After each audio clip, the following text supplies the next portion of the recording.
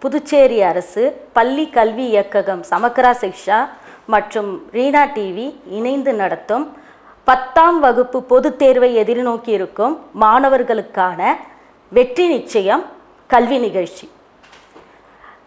சோதனைகள் சாதனைகளுக்கான திறவுகோல் உலகையே அச்சுறுத்தி கொண்டிருக்கும் கொரோனா வைரஸ் ஒரு புறம் பத்தாம் வகுப்பு பொதுத் தேர்வை எப்படி எழுதப் போகிறோம் என்று சோதனைக்குள்ளாக்கப்பட்டிருக்கும் மாணவர்கள் ஒரு புறம்.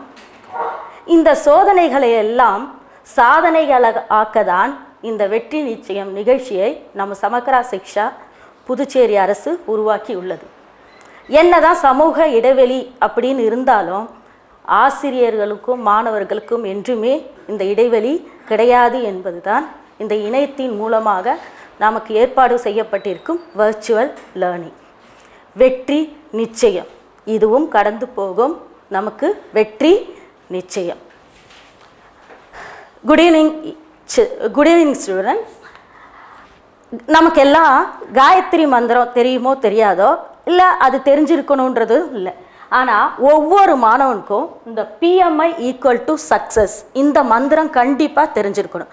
இந்த ஃபார்முலா இது என்ன அப்ரிவேஷன்றதை இந்த கிளாஸ் முடியும் போது நான். சொல்கிறேன் நான் பிஎம்ஐ ஈக்குவல் டு சக்ஸஸ் இப்போ டூ தௌசண்ட் நைன்டீன் டுவெண்ட்டி இந்த நியூ சிலபஸ் படி சமூக அறிவியலில் நம்ம சோஷியல் சயின்ஸ் பேட்டர்னில் ஹிஸ்ட்ரி அப்படின்னாக்கா டென் லெசன்ஸ் இருக்குது together volume one and volume two together ஜாகிரஃபியில் seven lessons இருக்குது சிவிக்ஸில் ஃபைவ் இருக்குது எக்கனாமிக்ஸில் ஃபைவ் லெசன்ஸ் இருக்குது all together twenty seven lessons நமக்கு ஒரே பயம்.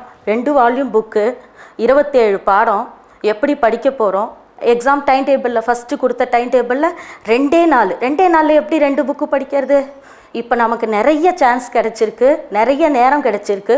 நம்ம நல்லாவே படிக்கலாம். உங்களுக்கு வழிகாட்ட நாங்களும் தயாராக இருக்கிறோம்.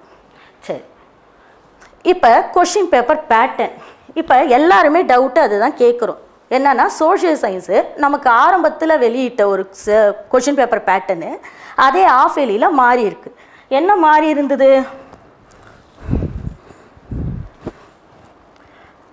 ஒன் மார்க்ஸ்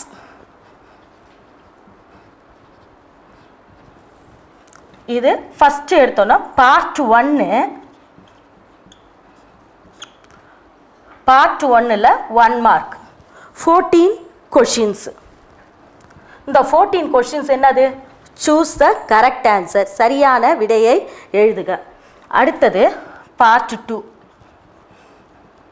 இந்த பார்ட் டூ இப்போ ஒன் டு ஃபோர்டீன் கொஷின் இது one to fourteen part two question number ஃபிஃப்டீன்லேருந்து twenty eight இது two marks question two mark answers இந்த ஃபிஃப்டீன்லேருந்து டுவெண்ட்டி எயிட்டுன்னு போது இந்த இருபத்தெட்டாவது கேள்வி நமக்கு கம்பல்சரி கொஷின் அதுதான் டூ மார்க்ஸில் இந்த வாட்டி நியூ ஒன்று இருபத்தெட்டாவது கேள்வி கட்டாய வினா. அப்போ பதினஞ்சுலேருந்து இருபத்தெட்டு கேள்வி வரைக்கும் இரண்டு மதிப்பெண் வினாக்கள். பார்ட் த்ரீ இருபத்தி ஒன்பதுலேருந்து நாற்பத்தி ரெண்டு. இந்த நாற்பத்தி ரெண்டாவது கேள்வி கம்பல்சரி கொஷின் இது ஒன்று வேர்ல்டு மேப்பு இல்லை இந்தியா மேப் அந்த நாற்பத்தி ரெண்டாவது கேள்வி ஃபைவ் மார்க்ஸில் கம்பல்சரி கொஷின் இருபத்தொம்போதுலேருந்து நாற்பத்தி ரெண்டு வரைக்கும் ஐந்து மதிப்பெண் வினாக்கள்.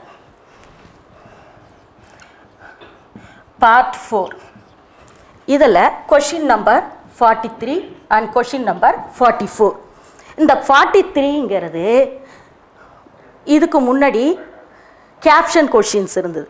இந்த கேப்ஷன் கொஷின்ஸ்க்கு பதிலாக தான் இந்த வாட்டி என்ன வடிவமைச்சிருக்காங்க? எஸ்ஏ டைப் கொஷின்ஸ் இந்த எஸ்ஏ டைப் கொஷின்ஸில் ஒன்று எயிட் மார்க்ஸ்க்கு வரும். எய்தர் ஆர் சாய்ஸு இன்னொன்று ஃபோர் ஃபோர் அதாவது you ha you have to choose either eight mark question or these two questions four and four இதுதான் அந்த ஹெட்டிங் கொஷினை இந்த கேப்ஷன் கொஷினை இந்த வாட்டி எஸ்ஏ டைப் கொஷினாக மாற்றிருக்காங்க இந்த எஸ்ஏ டைப் கொஷினு சரி அதனால் நான் கேப்ஷன் கொஷின் படிக்க வேண்டாமா? அப்படின்னு கேட்கலாம்.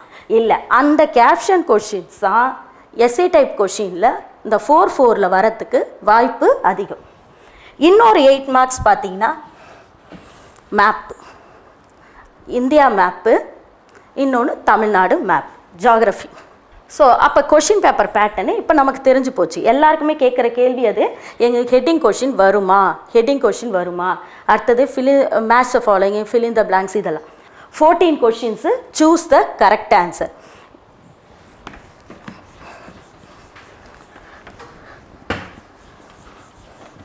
சரி இப்போ மெல்ல கற்கும் மாணவர்கள் இருக்காங்க. அடுத்தது நான் சோஷியல் சயின்ஸில் சென்டம் வாங்கணும்.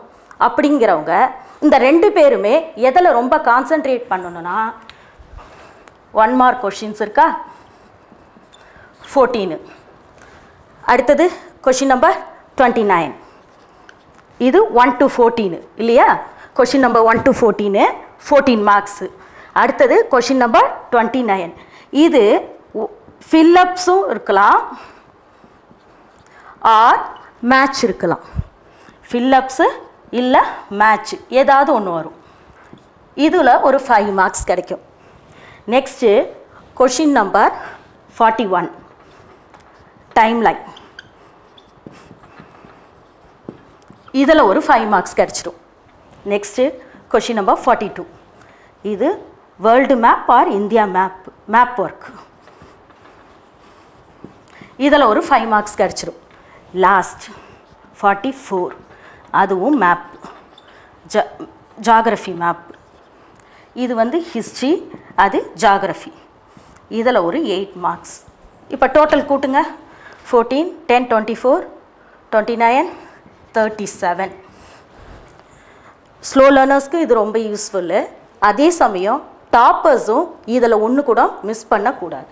இந்த ஒன் மார்க் கொஷின்ஸு இப்போ இந்த ஸ்லோ லேர்னர்ஸ்க்கும் சரி டாப்பர்ஸ்க்கும் இந்த ஒன் மார்க் கொஷின் தான் சாய்ஸ் இதுதான் இதில் வந்து ரொம்ப மோர் கான்சன்ட்ரேட் பண்ணும் இப்போ வந்து டாப்பர்ஸுக்கு வந்து இதில் ஏதாவது ஒரு மார்க் போயிடுச்சுன்னா அவங்களுக்கு நூறு மதிப்பெண்களை அதாவது சென்டம் எடுக்கிற வாய்ப்பு பறிப்போம். அப்போ இந்த இந்த வினாக்களை இந்த ஒன் மார்க்கை எதிர்கொள்வது எப்படி? அப்படின்னாக்கா இந்த ஃபோர்டீன் மார்க்ஸ் இருக்குல்ல இந்த சூஸ் அ கரெக்ட் ஆன்சர் இந்த சரியான விடையில் கூற்று காரணம் அப்படிங்கிறது கூற்று விளக்கம்னுலாம் நமக்கு அசர்ஷன் ஸ்டேட்மெண்ட் எல்லாம் வருது கொஷின்ஸ் அதில் ரெண்டு கேள்வி கண்டிப்பாக வரும். அடுத்தது இந்த நம்மளதில் வந்து இந்த பெட்டி செய்திகள்னு இருக்குது பாருங்கள் புக்கில் இருக்கா? புக்கில் பாக்ஸ் பாக்ஸாக போட்டிருப்பாங்க பாருங்கள் ப்ளூ கலரில் அது டார்க் பண்ணி இருக்கும். அந்த பெட்டி செய்திகள் இருக்கும். அடுத்தது டூ யூ நோ உங்கள் உங்களுக்கு தெரியுமான்னு ஒரு கொஷின் பேங்க் இருக்கும். இப்போ இந்த மாதிரி கொஷின்ஸ்லேருந்து ஒன் வேர்டு இன்டீரியர் கொஷின்ஸாக வரும். அடுத்தது நமக்கு இந்த வருஷம் புக்கில் விரைவு குறியீட்டு என்னன்னு கொடுத்துருப்பாங்க. கியூஆர் கோடு அப்போ அந்த எவாலுவேஷன் ஷீட்டு அந்த ஒவ்வொரு லெசனுக்கும் கியூஆர் கோடு வினாக்கள் இருக்குது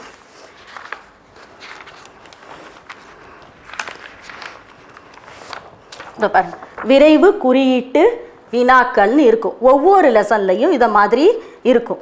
இதையும் நம்ம தரவு பண்ணிக்கணும். அப்போ இந்த பிடிஏ வந்து ஒரு ஆறு கொஷின் பேப்பர் வெளியிட்டிருக்காங்க.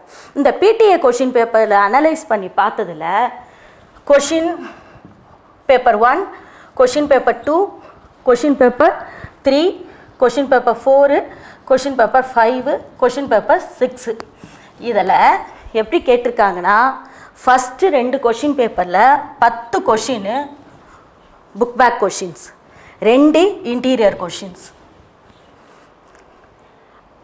அதாவது பன்னெண்டு சாரி பன்னெண்டு கொஷின்ஸு புக் பேக்கு ரெண்டு இன்டீரியர் அடுத்ததில் பதினொன்று பதினொன்று கேட்டிருக்காங்க. அப்போ மூணு மூணு இன்டீரியராக எடுத்திருக்காங்க. அடுத்தது பத்து ஒன்பது அப்படின்னு எடுத்திருக்காங்க. அப்போ interior questions last question paper வரும்போது உள்ளேருந்து ஒரு அஞ்சு கேள்வி எடுக்கிறாங்க. அப்போ இந்த அஞ்சு கேள்வி எங்கேருந்து எடுப்பாங்க? கியூஆர் கோடில் இந்த பெட்டி செய்திகள் உங்களுக்கு தெரியுமான்றது இருக்கிறதுலேருந்துலாம் நம்ம அதை படிக்கணும். அதே மாதிரி அடுத்த இந்த ஃபில்லப்ஸும் அதே தான் புக் பேக் கொஷின்ஸில் நமக்கு நிறைய இருக்குது இந்த கொஷின்ஸ் எல்லாம் நம்ம படித்தோம்னு சொன்னாலே ஈஸியாக அந்த ஒன் மார்க்கை ஸ்கோர் பண்ண முடியும். அடுத்தது மேட்ச் த ஃபாலோயிங் இது வந்து ஒரு தடவை வந்து கொஷின் பேப்பரில் இது ஃபைவ் மார்க்ஸில் தான் ஒரு ஆப்ஷனாக வரும். ஒரு தடவை ஃபில்லப்ஸ் வந்ததுன்னா அடுத்த வாட்டி மேட்ச் வரும்.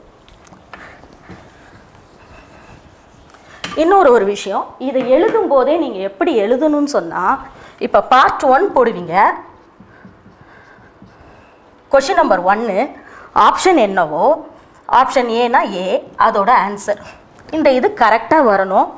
இந்த இதுவும் கரெக்டாக இருக்கணும். இந்த ஆன்சர்ஸும் கரெக்டாக இருக்கணும். கூடுமான வரைக்கும் ஃபோர்டீன் கே கொஷின்ஸை ஒரே பேஜில் முடிக்கிறதுக்கு பாருங்கள் அப்படி இல்லையா? அதை ஏழு ஏழாக பிரித்து கொஞ்சம் கையெழுத்து பெருசாக எழுதுறவங்க ஏழு ஏழாக பிரித்து ரெண்டு பக்கமாக பாரு இடைவெளி விட்டு தனித்தனியாக ஒரு மூணு நாலுன்னு தனித்தனியாக பேஜில் எழுதக்கூடாது.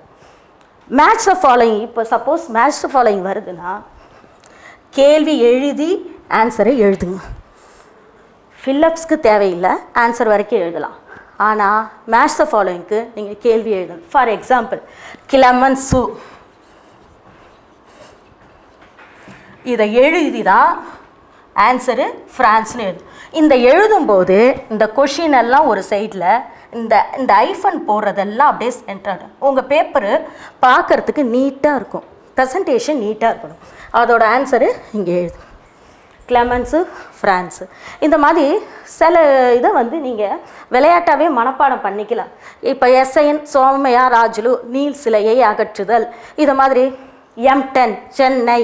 இந்த மாதிரி ஒரு அஞ்சு படித்து படித்து ஞாபகம் வச்சுங்க. அடுத்தது ஃபில்லப்ஸ்க்கு அதே மாதிரி ஒரு க்ளூ இப்போ இந்த ஆண்டுலாம் எனக்கு ஞாபகம் வச்சுக்க ரொம்ப கஷ்டமாக இருக்குது அப்படிங்கிறவங்க ஜப்பான் சீனாவோட வலுக்கட்டாயமாக போரிட்ட ஆண்டு எது? அப்படின்னு ஒரு கேள்வி வருதுன்னு வச்சுங்க. ஜப்பானு சீனாவோட வலுக்கட்டாயமாக இப்போ அந்த வலுக்கட்டாயமான்னு சொல்லும்போது நீயே ஒரு ஆக்ஷனை கொடுத்துக்கோ? வலுக்கட்டாயமாக போரிட்ட ஆண்டு. அப்படின்னும் போது உனக்கு அந்த ஆக்ஷனை வச்சு அந்த ஞாபகம் வரும். இப்போ ஆன்சர் பாரு. ஆயிரத்தி எண்ணூற்றி தொண்ணூற்றி நாலு. இதை இன்னொரு விஷயமா வச்சுக்கோ. இந்த ஃபஸ்ட்டு ரெண்டு நம்பரை கூட்டினா ஒம்பது இந்த எட்டில் ரெண்டு டிவைட் பண்ணால் நாலு. ஆயிரத்தி எண்ணூற்றி தொண்ணூற்றி நாலு. அதே மாதிரி ஜப்பான் இங்கிலாந்துடன் ஒப்பந்தம் நட்பு செய்து கொண்ட நாடு எது? அப்படின்னு ஒரு கேள்வி வருது. நட்பு ரெண்டு நாடு. ஆன்சரு ஆயிரத்தி தொள்ளாயிரத்தி ரெண்டு. இதை மாதிரி க்ளூ வச்சுங்க. அடுத்தது டைம்லைன் இந்த டைம்லைன் பார்ட்டில் ஒரு அஞ்சு வருஷத்தை நீங்கள் ஞாபகம் வச்சுக்கிட்டீங்கன்னு சொன்னாக்கா ஈஸியாக எழுதிடலாம். இப்போ டைம்லைன் போடும்போது நீட்டாக பண்ணுங்கள் ஒரு உங்களோட பேப்பரில் ஒரு ஏ ஃபோர் ஷீட் அளவு தான் உங்களோட கொஷின் ஆன்சர் பேப்பர் இருக்கும் ஸ்கிரிப்டில் அதில் ஃபுல் பேஜுக்கு காலக்கோடு போடுங்க. இந்த காலக்கோடை பாதியாக பிரிக்காதீங்க. காலக்கோடை கரெக்டாக போடுங்க. கொஷின் நம்பரை கரெக்டாக எழுதுங்க. இப்போ நாற்பத்தொன்று கேள்வி என்னன்னாக்கா நாற்பத்தொன்னுன்னு போட்டு ரவுண்ட் பண்ணுங்கள் காலக்கோடுன்னு போட்டு. எந்த வருஷம் கொடுக்குறாங்களோ அந்த வருஷத்தோடைய வரலாற்று நிகழ்வுகள் ஏது? இப்போ ஆயிரத்தி எண்ணூற்றி எண்பத்தஞ்சிலேருந்து ஆயிரத்தி தொள்ளாயிரம். அடுத்தது ஆயிரத்தி தொள்ளாயிரத்துலேருந்து ஆயிரத்தி தொள்ளாயிரத்தி முப்பதுன்னு வச்சுங்க. இன்னொன்று ஆயிரத்தி தொள்ளாயிரத்தி இருபதுலேருந்து ஆயிரத்தி தொள்ளாயிரத்தி ஐம்பது. ஆயிரத்தி தொள்ளாயிரத்தி பத்துலேருந்து ஆயிரத்தி தொள்ளாயிரத்தி முப்பது. இன்னொன்று ஆயிரத்தி தொள்ளாயிரத்தி பத்துலேருந்து ஆயிரத்தி தொள்ளாயிரத்தி நாற்பது இந்த அஞ்சுக்கும் நீங்கள் ஏழே ஏழு விஷயத்தை ஞாபகம் வச்சுக்கிட்டிங்கன்னா ரொம்ப ஈஸியாக உங்களால் இந்த காலக்கோடு மறக்கவே மறக்காது. என்னது அது? ஃபஸ்ட்டு ஆயிரத்தி தொள்ளாயிரத்தி அஞ்சு. பார்ட்டிஷன் ஆஃப் பெங்கால் வங்க பிரிவினை. தெரியும் உங்களுக்கு. அடுத்தது ஆயிரத்தி தொள்ளாயிரத்தி பதினொன்று வங்க பிரிவினை நீக்கம். இது வங்க பிரிவினை இது வங்க பிரிவினை நீக்கம். ஓகேவா? இது ஒரு செட்டு. அடுத்தது ஆயிரத்தி தொள்ளாயிரத்தி பதினாலு ஆயிரத்தி தொள்ளாயிரத்தி பதினெட்டு. என்னது? Outbreak of first world war end of the first world war அப்போ முதல் உலகப்போர் தொடக்கம் முதல் உலகப்போர் முடிவு. அடுத்தது ஆயிரத்தி தொள்ளாயிரத்தி இருபது ஆயிரத்தி தொள்ளாயிரத்தி இருபத்தி ரெண்டு ஒத்துழையாமை இயக்கம் ஒத்துழையாமை இயக்கம் கைவிடல். ஒத்துழையாமை இயக்கம் ஆயிரத்தி தொள்ளாயிரத்தி இருபது. ஒத்துழையாமை இயக்கம் கைவிடல் ஆயிரத்தி தொள்ளாயிரத்தி இருபத்தி ரெண்டு அடுத்தது ஆயிரத்தி தொள்ளாயிரத்தி இருபத்தி ஏழு ஆயிரத்தி தொள்ளாயிரத்தி இருபத்தி எட்டு. சைமன் குழு அமைத்தல் சைமன் குழு இந்தியா வருகை. சைமன் குழு அமைத்தல் சைமன் குழு இந்தியா வருகை. நெக்ஸ்ட் செட்டு ஆயிரத்தி தொள்ளாயிரத்தி முப்பது ஆயிரத்தி தொள்ளாயிரத்தி முப்பத்தொன்று ஆயிரத்தி தொள்ளாயிரத்தி முப்பத்தி ரெண்டு. இந்த ஆயிரத்தி தொள்ளாயிரத்தி முப்பதுன்னும் போது உங்களுக்கு நல்ல ஞாபகம் இருக்கும். ரவுண்ட் டேபிள் கான்ஃபரன்ஸ் ஒன்று நீங்கள் ஒரு பெரிய தப்பு என்ன பண்ணுறீங்க ஒன்றுன்னொன்னே இந்த முப்பத்தொன்னை போட்டு ரவுண்ட் டேபிள் கான்ஃபரன்ஸ் ஒன்றுன்னு போடுறீங்க. முதல் வட்ட மேஜை மாநாடு ஆயிரத்தி தொள்ளாயிரத்தி முப்பத்தொன்னுன்னு போடுறீங்க. நல்லா ஞாபகம் வச்சுக்கணும். ஆயிரத்தி தொள்ளாயிரத்தி முப்பது தான் முதல் வட்ட மேஜை மாநாடு. ஆயிரத்தி தொள்ளாயிரத்தி முப்பத்தொன்று இரண்டாம் வட்ட மேஜை மாநாடு. ஆயிரத்தி தொள்ளாயிரத்தி முப்பத்தி ரெண்டு மூன்றாம் வட்ட மேஜை மாநாடு. அடுத்தது ஆயிரத்தி தொள்ளாயிரத்தி முப்பத்தி ஆறு சாரி ஆயிரத்தி தொள்ளாயிரத்தி முப்பத்தொம்போது அடுத்தது ஆயிரத்தி தொள்ளாயிரத்தி நாற்பத்தி அஞ்சு. இது என்னது? வெரி குட் ஆயிரத்தி தொள்ளாயிரத்தி முப்பத்தொம்போதுன்றது outbreak of second world war ஆயிரத்தி தொள்ளாயிரத்தி நாற்பத்தஞ்சுன்றது end of the second world அப்போ இரண்டாம் உலகப்போர் தொடக்கம் இரண்டாம் உலகப்போர் முடிவு. இப்போ நான் சொன்னது ஒரு செட்டு ரெண்டு மூணு நாலு அஞ்சு ஆறு. ஏழாவது ஆயிரத்தி தொள்ளாயிரத்தி நாற்பத்தி ஏழு ஆயிரத்தி தொள்ளாயிரத்தி ஐம்பது. ஆயிரத்தி தொள்ளாயிரத்தி நாற்பத்தேழு இந்தியா விடுதலை ஆயிரத்தி தொள்ளாயிரத்தி ஐம்பது இந்தியா குடியரசாதல் இது இதை நீ நல்லா ஞாபகம் வச்சுக்கிட்டீங்கன்னா இதில் உள்ளதில் எல்லாத்தையுமே நீ எழுதிட முடியும். இது ஆயிரத்தி தொள்ளாயிரத்தி அஞ்சு வங்க பிரிவினை ஆயிரத்தி தொள்ளாயிரத்தி பதினொன்று வங்கப் பிரிவினை நீக்கம் ஆயிரத்தி தொள்ளாயிரத்தி பதினாலுலேருந்து பதினெட்டு பதினாலு முதல் உலகப் போர் தொடக்கம் முதல் உலகப் போர் முடிவு ஆயிரத்தி தொள்ளாயிரத்தி இருபது ஒத்துழையாமை இயக்கம் ஆயிரத்தி தொள்ளாயிரத்தி இருபத்தி ரெண்டு ஒத்துழையாமை இயக்கம் கைவிடல் ஆயிரத்தி தொள்ளாயிரத்தி இருபத்தி ஏழு சைமன் கமிஷன் அமைத்தல் ஆயிரத்தி தொள்ளாயிரத்தி இருபத்தெட்டு சைமன் குழு இந்தியா வருகை முப்பது முப்பத்தொன்று முப்பத்தி ரெண்டு முதல் வட்ட மேஜை மாநாடு இரண்டாம் வட்ட மேஜை மாநாடு மூன்றாம் வட்ட மேஜை மாநாடு. ஆயிரத்தி தொள்ளாயிரத்தி முப்பத்தொம்போது ஆயிரத்தி தொள்ளாயிரத்தி நாற்பத்தஞ்சு இந்த முப்பத்தொம்போதுன்றது இரண்டாம் உலகப்போர் தொடக்கம். ஆயிரத்தி தொள்ளாயிரத்தி நாற்பத்தைந்துன்றது இரண்டாம் உலகப்போர் முடிவு. லாஸ்ட் ஆயிரத்தி தொள்ளாயிரத்தி நாற்பத்தி ஏழு ஆயிரத்தி தொள்ளாயிரத்தி ஐம்பது. இந்தியா விடுதலை அடைதல் இந்தியா குடியரசாதல் இப்போ காலக்கோடுன்றது நம்ம ஸ்கேல் எழுதணும். ஒ- ஒரு அலகு ஈக்குவல் டு ஐந்து ஆண்டுகள் இல்லை ஒரு அலகு ஈக்குவல் டு பத்து ஆண்டுகள்னு நம்ம ஸ்கேலு எழுதணும். அப்போ முழுமையான மதிப்பெண்கள் இதில் கிடைச்சிடும் இப்போ நம்ம இது நாற்பத்தி ஒன்றாவது கேள்வி காலக்கோடு அஞ்சு மார்க் முடிச்சிட்டோம். அடுத்து என்னது? நாற்பத்தி ரெண்டாவது கேள்வி வரைபடம். உலக வரைபடம். இப்போ இந்த ரெண்டு கேட்பாங்க அதில். ரெண்டுனா ஒரு தடவை வந்து அது கம்பல்சரி கொஷின்றனால ஏதாவது ஒன்று தான் வரும். ஒரு தடவை உலக வரைபடம் வரலாம் இல்லை இந்திய வரைபடம் வரலாம். உனக்கு ஆப்ஷனே கிடையாது. அப்போ நீ என்ன பண்ணணும்? ரெண்டையும் தரவு பண்ணணும். அப்போ வேர்ல்டு மேப்புன்னு கே- கேட்டாக்கா வால்யூம் ஒன்றில் ஃபஸ்ட் லெசனு தேர்ட் லெசனில் இருக்கிற புக் பேக் அந்த மேப்பு எக்ஸசைஸ் இருக்குல்ல அதை நீங்கள் படித்தாலே போதுமானது. அதே மாதிரி லாஸ்ட்டு இந்த பா சப்போஸ் இந்தியா மேப்பு கேட்குறாங்கன்னு வச்சுங்க. Great revolt eighteen fifty seven ரிவோல்ட்டும் Indian national Congress அந்த ரெண்டு பாடத்தை படித்தாலே போதுமானது. அது மேப் பின்னாடி இருக்கிற டெக்ஸ்டுவல் எக்ஸசைஸில் இருக்கிற மேப்பே உங்களுக்கு போதுமானது.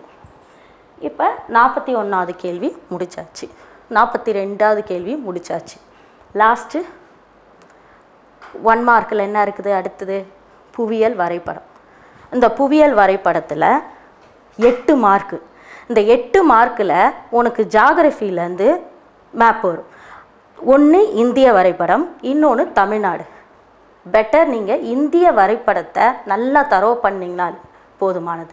அதுலேருந்து ஏன்னா அதுக்கு வந்து ஆப்ஷன் இருக்குது நீங்கள் ஒன்று நல்லா தரவாக இந்திய வரைபடத்தை புக்கில் இருக்கிறது பின்னாடி எக்ஸசைஸ் ஃபுல்லாக பார்த்தீங்க. காடுகள் மலைகள் பீடபூமிகள் சமவெளிகள் கடற்கரை சமவெளிகள்.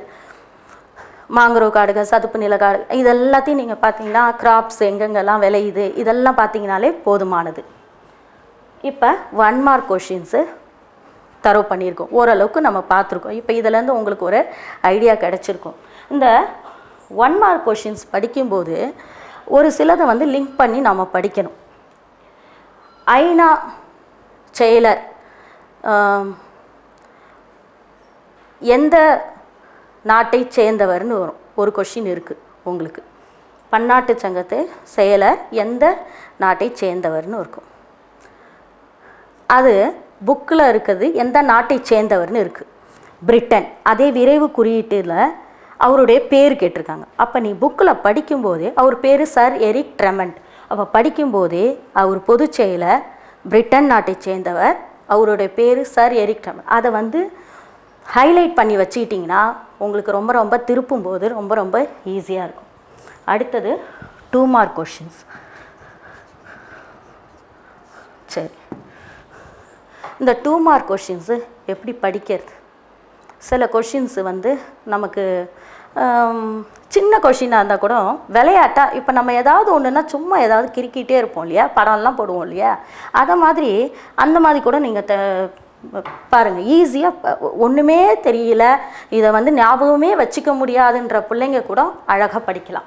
ஃபார் எக்ஸாம்பிள் ஒரு கொஷினு மூன்றாம் உலக நாடுகள் பற்றி குறிப்பு வரைகன்னு ஒரு கொஷின் இருக்குது சரி மூன்றாம் உலக நாடுகள். எது மூன்றாம் உலக நாடுகள்? இதுக்கு ரெண்டு மூணு வார்த்தை தான் நீ ஞாபகம் வச்சுக்க போகிற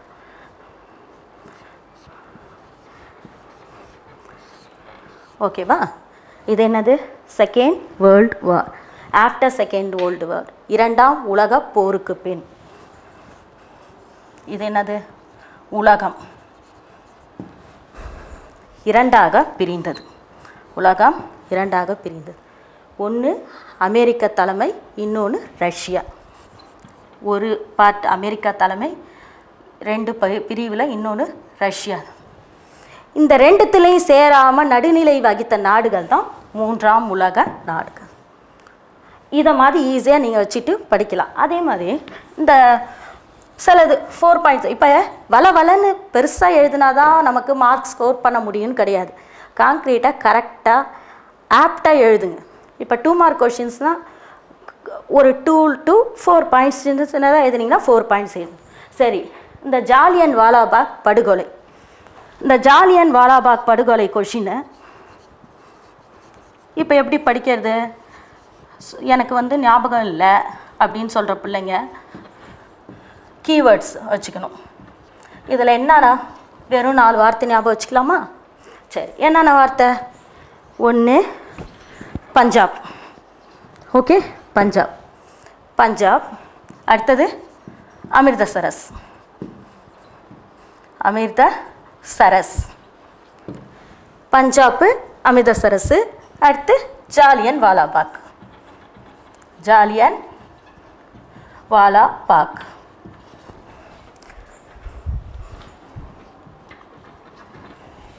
வந்தாச்சு. ரெண்டாவது.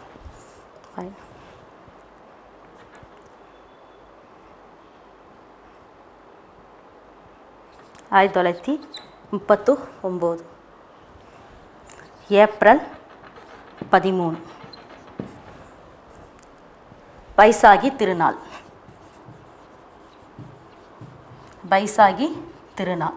இப்போ திருநாள்னா ஒரு திருவிழானா யார் இருப்பா? யார் கூடியிருப்பா? எல்லா பொதுமக்களும் கூடியிருப்பாங்க. பொதுமக்கள் எல்லாரும் சேர்ந்துருப்பாங்க. அப்போ திருநாள் இந்த இடத்துல அண்டர்ஸ்டுடு பொதுமக்கள்.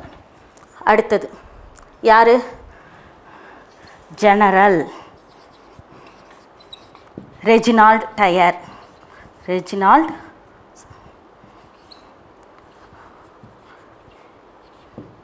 sorry nineteen nineteen sorry nineteen nineteen உனக்கு ஈஸியாக ஞாபகம் இருக்கும். Nineteen nineteen April thirteen nineteen nineteen April thirteen Baisakhi திருநாள். அடுத்தது ஜெனரல் ரெஜினால்ட் டயர் அடுத்தது பாப்பா பாப்பா. பாப்பா பாப்பா. சும்மா இது. இது என்ன இது? இப்போ இதை வச்சு ஒரு சென்டென்ஸ் ஃப்ரேம் பண்ணி ஆன்சரை உடனே சொல்ல முடியும். என்னது? ஜாலியன் வாலாபாக் படுகொலைக்கு. முதல்ல இப்போ டூ மார்க் கொஷின்ஸு இப்போ ஜாலியன் வாலாபாக் படுகொலையை பற்றி எழுதுக அப்படின்னு கேள்வி கேட்குறாங்கன்னு வச்சுங்க. நீங்கள் அந்த கொஷினு தலைப்பாக எழுதி அண்டர்லைன் பண்ணி கோலன் வைக்கணும் ஃபஸ்ட்டு அதுக்கப்புறம் பாயிண்ட்ஸு நேராக போடணும். பஞ்சாப் பஞ்சாப் அமிர்தசரஸில் ஜாலியன் வாலாபாக் பூங்காவில் நடைபெற்றது. எது? ஜாலியன் வாலாபாக் படுகொலை. பஞ்சாப் அமிர்தசரஸில் ஜாலியன் வாலாபாக் பூங்காவில் நடைபெற்றது. எப்போ? ஆயிரத்தி தொள்ளாயிரத்தி பத்தொம்போது ஏப்ரல் பதிமூணு. பைசாகி திருநாள் அன்று பொதுமக்கள் கூடி இருந்தனர். ஓகே. அப்போ நீ ஞாபகம் வச்சுக்க வேண்டியது ஆயிரத்தி தொள்ளாயிரத்தி பத்தொம்போது நைன்டீன் நைன்டி ஏப்ரல் பதிமூணு. நமக்கு ஒன் ஃபார்ட்டி ஃபோர் என்றைக்கு முடியுது? ஏப்ரல் பதினாலு. அதுக்கு முதல் நாள். ஏப்ரல் பதிமூணு. பைசாகி திருநாள். யார் கூடி இருந்தா பொதுமக்கள். ஜெனரல் ரெஜினால்ட் டயர் இவர் என்ன பண்ணுறாரு முன்னறிவிப்புமின்றி துப்பாக்கி சூடு நடத்தினார். முன்னறிவிப்பு இன்றி துப்பாக்கி சூடு. துப்பாக்கி சூடு. ஜெனரல் டயர் என்ன பண்ணுறாரு துப்பாக்கி சூடு. இப்போ இந்த பாப்பா பாப்பான்றது என்னென்னா பலர் படுகாயம். பலர் படுகொலை பலர் படுகாயம் அடைந்தனர். இது ஈஸியாக ஞாபகம் வச்சுக்க. பலர் படுகொலை பலர் படுகாயம் அடைந்தனர். இப்போ இந்த டூ மார்க்ஸு ஓரளவுக்கு இப்போ நீங்கள் வந்து எப்போ கேட்டாலும் இது ஞாபகத்தில் இருக்கும்னு நினைக்கிறேன். அதே மாதிரி ஈஸியாக நம்ம என்ன பண்ணலாம்?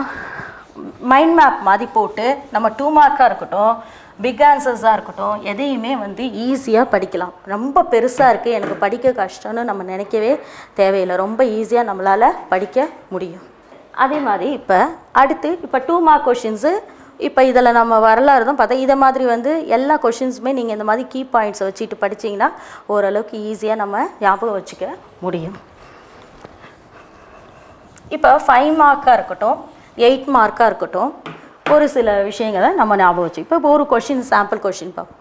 என்ன கொஷின்னா ஐக்கிய நாடுகள் சபையின் அமைப்பு மற்றும் செயல்பாடுகள் பற்றி விவரி. ஐக்கிய நாடுகள் சபையின் அமைப்பு. ஐநா சபை.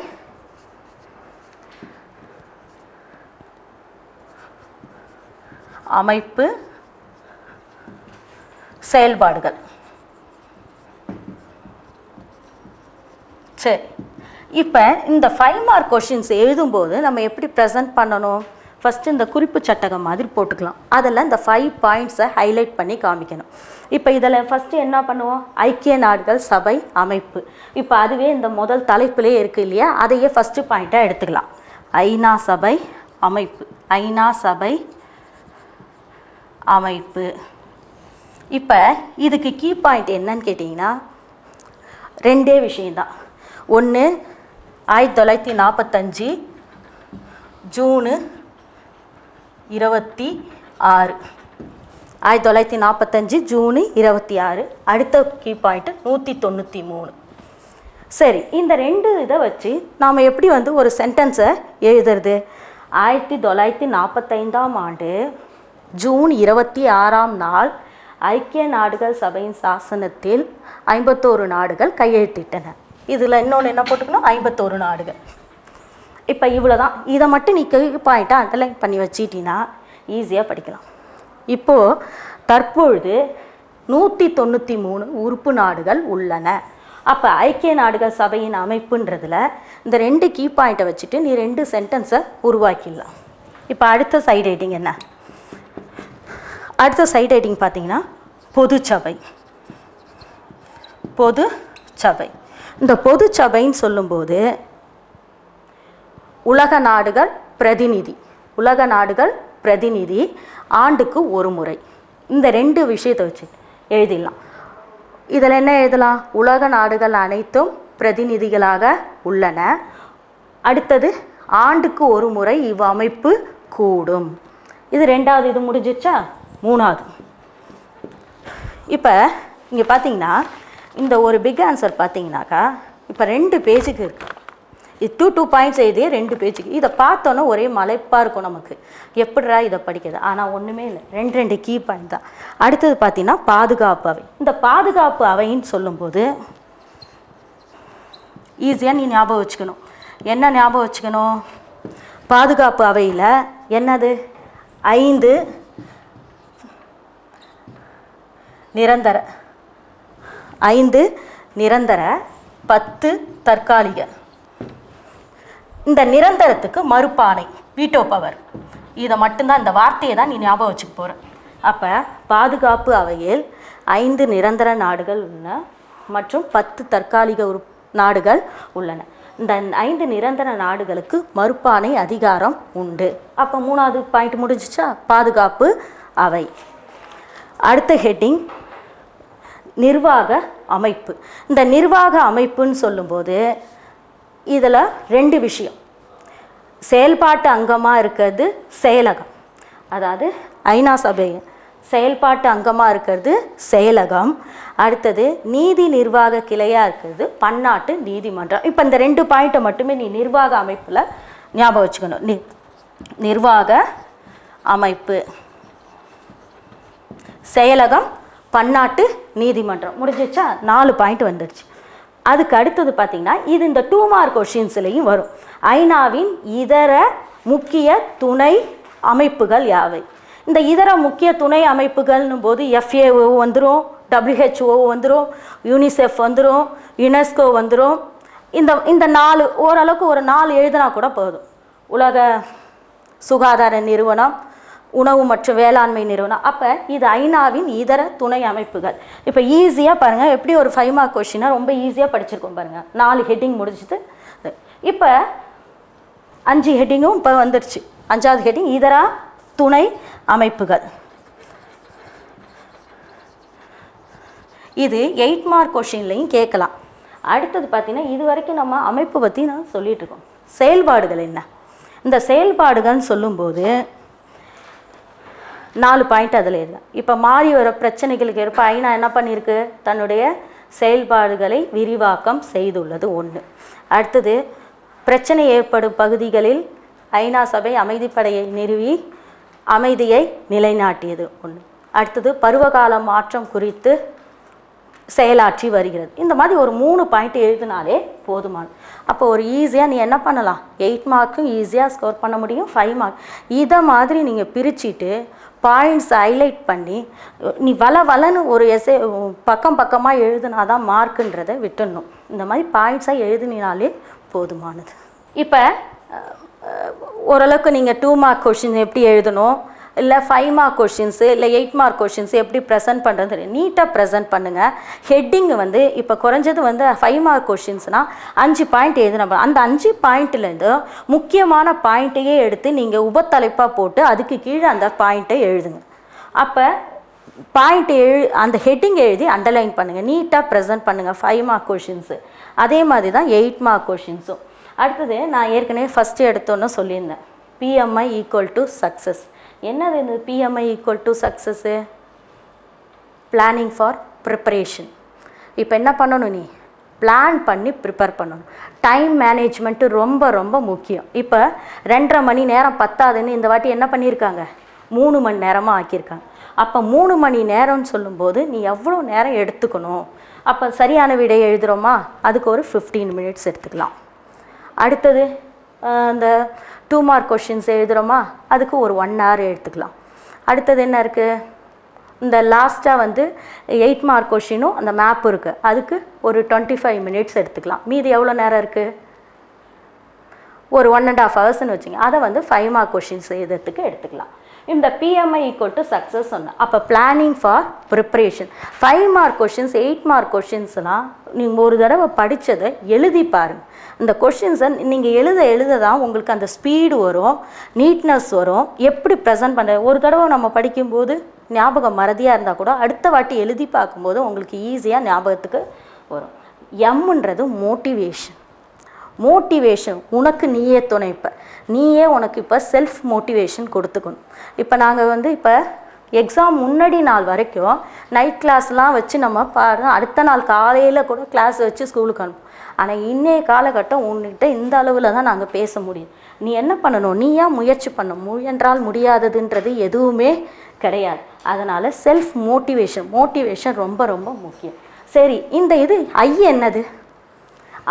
ஐன்றது இன்ட்ரெஸ்ட் இன்ட்ரெஸ்ட்னா விருப்பத்தோட படி. ஒரு பேர்டனாக நினைக்காதீங்க. பேர்டனாக நினைக்காம பாடப்பகுதியை விருப்பத்தோட படிங்க இப்போ two marks five marks eight marks எதாக இருந்தாலும் விருப்பத்தோட படிங்க. பிஎம்ஐ ஈக்குவல் டு சக்ஸஸ் கண்டிப்பாக இந்த ஃபார்முலாவை நீங்கள் ஃபாலோ பண்ணீங்கன்னு சொன்னாக்கா வெற்றி நமக்கு நிச்சயம் ஹண்ட்ரட் பர்சன்ட் சக்ஸஸ் இது thirty five thirty seven marks எல்லாம் கிடையாது. மோர் தேன் தட் எல்லாருமே நிறைய பேர் ஹண்ட்ரட் மார்க்ஸு எடுக்கலாம். Smile more score more thank you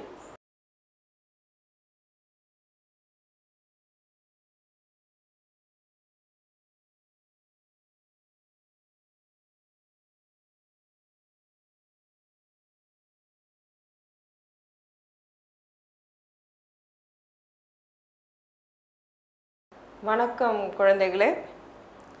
குழந்தைகள் தான் நான் சொல்லுவேன் எப்பயுமே என்னோட ஸ்டூடெண்ட்ஸை என்னோட குழந்தைகளை போல் பாவிக்கிறேன்.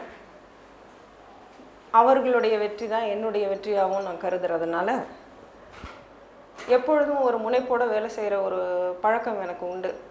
அவங்களுடைய வாழ்க்கையில் நம்ம ஒரு ஒளி விளக்காக இருக்கணும். அப்படிங்கிற ஒரு எண்ணத்தோடைய செயல்பாடு செய்கின்ற பல டீச்சர்ஸ் இருக்கிற காரணத்தினால தான் இன்றைக்கும் வந்து இந்த கல்வித்துறையில் வந்து நிறைய வெற்றிகளை கண்டுட்டுருக்கு. அப்படி பல டீச்சர்ஸ் இருக்கக்கூடிய இந்த தருணத்தில் என்னை எனக்கு ஒரு வாய்ப்பளித்த இந்த ரீனா டிவிக்கு ஒரு நன்றி. கல்வித்துறையோட சேர்ந்து நம்ம ரீனா டிவி நடத்தும் இந்த வெற்றி நி நிச்சயம் நிகழ்ச்சிக்கு இதில் பங்கெடுத்துக்கிறதுல எனக்கு ரொம்ப சந்தோஷமாக இருக்குது. நான் இப்போ வந்து ஜாகிரஃபி அப்படிங்கிற சப்ஜெக்டை வந்து உங்களுக்கு நடத்த போ நடத்தலை. உங்களுக்கு முக்கியமான கேள்விகள் அதாவது பரீட்சை நெருக்கத்தில் நம்ம இருக்கோம் இல்லையா? இப்போ இந்த கொரோனா வைரஸ் அப்படின்னு வேற சொல்லிட்டாங்க. இல்லைன்னா இந்நேரம் பரீட்சை எழுதிட்டு இருப்பீங்க. இப்போ வந்து லாக்டவுன் பீரியட் அப்படின்னு சொல்லிட்டு ஒரு எக்ஸ்டெண்டட் டைம் பீரியட் இருக்குது இதை நம்ம என்ன செய்யணும் அப்படின்னா இந்த பீரியடில் நம்ம வந்து ஒரு சிறப்பான முறையில் இந்த காலகட்டத்தை மாணவர்கள் வந்து ஆக்கப்பூர்வமாக பயன்படுத்திக்கணும். அவங்க உபயோகம் உள்ள விஷயங்களில் தன்னுடைய மனதை ஈடுபடுத்திக்கணும். வெற்றி காணணும் அப்படிங்கிற ஒரு முனைப்போட செயல்படணும். தேவையற்ற பொழுதுபோக்கு அம்சங்களை நிறுத்திட்டு பாடங்களை கவனித்து படித்தா கண்டிப்பாக வெற்றி நிச்சயம். இப்போ பாடத்துக்குள்ளே போகலாம் ஜாகிரஃபி அப்படிங்கிறது ரொம்ப ஈஸி ஆக்சுவலாக நீங்கள் யாரும் கஷ்டப்பட்டு படிக்கணும்னு அவசியம் இல்லை. சச் அன் ஈஸி சப்ஜெக்ட் எப்பயுமே என்ன தெரியுங்களா? மனசில் ஈஸி அப்படின்னு சொல்லிட்டாலே அது ஈஸி தாங்க.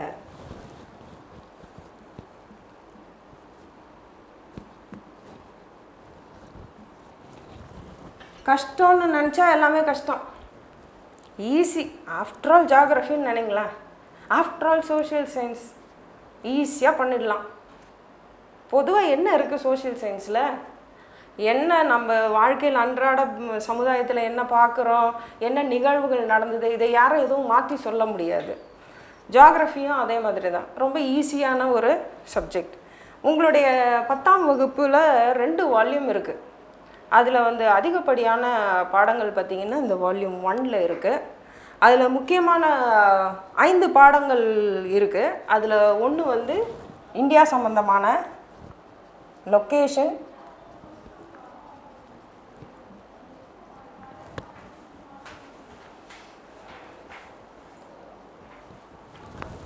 லொக்கேஷன் ரிலீஃப் ட்ரைனேஜ்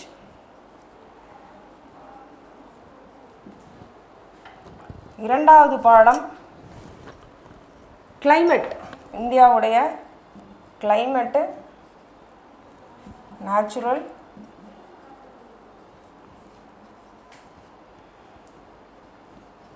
வெஜிடேஷன் மூன்றாவது பாடம் காம்போனன்ட்ஸ் ஆஃப்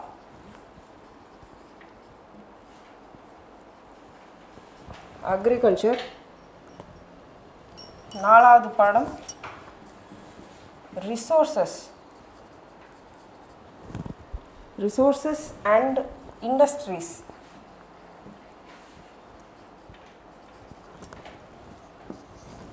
ஐந்தாவதாக இருக்கக்கூடிய பாடம். Population transport communication.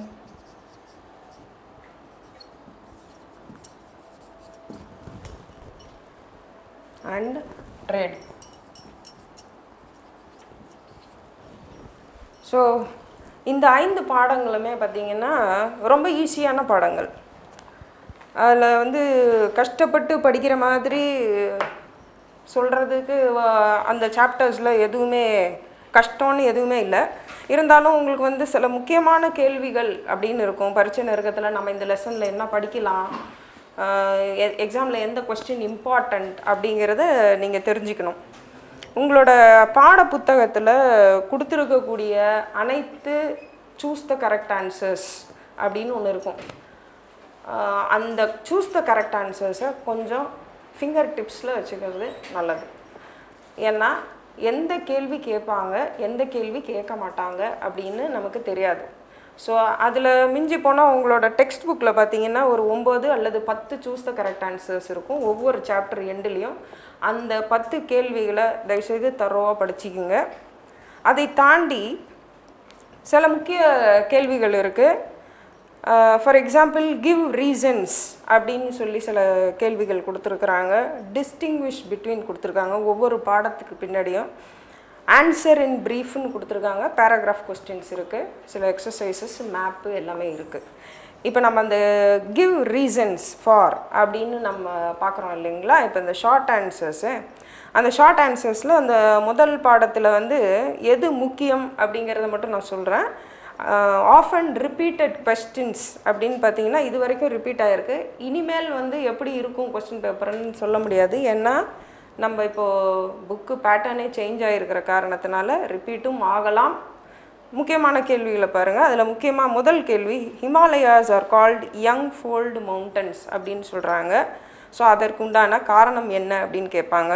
இந்த சோட்டா நாக்பூர் பிளாட்டோ அதை பற்றியும் கேட்குறாங்க ஏன்னா அது ரிச் இன் மினரல் சோர்சஸ் அப்படிங்கிறதுனால அந்த Chota Nagpur plateau of and repeated question so இந்த இரண்டு கேள்விகளும் ரொம்ப முக்கியமான கேள்விகள். அதுக்காக மற்றதெல்லாம் இம்பார்ட்டண்ட் இல்லையான்றது கிடையாது. மற்றதும் ஓரளவு படித்தால் போதும். இது எல்லாமே வந்து முக்கியமான கேள்விகள் மட்டும் நான் வந்து உங்களுக்கு சொல்கிறேன் டிஸ்டிங்விஷ் பிட்வீன் வந்து நீங்கள் முக்கியமாக கான்சென்ட்ரேட் பண்ண வேண்டியது ஆஃப் அண்ட் ரிப்பீட்டட் கொஸ்டின்ஸ் வந்து பார்த்தீங்கன்னா Himalayan rivers peninsula rivers Eastern Ghats Western Ghats western coastal plain eastern coastal plain இந்த பெனின்சு சாரி uh, இந்த வெஸ்டர்ன் காட்ஸு ஈஸ்டர்ன் காட்ஸு அதே மாதிரி இந்த கோஸ்டல் பிளெயின்னு இதையெல்லாம் வந்து மேப் அப்படின்னு ஒன்று கொடுப்பாங்க. நமக்கு எக்ஸாமில் எப்பயுமே மேப் கொஸ்டின்ஸும் உண்டு.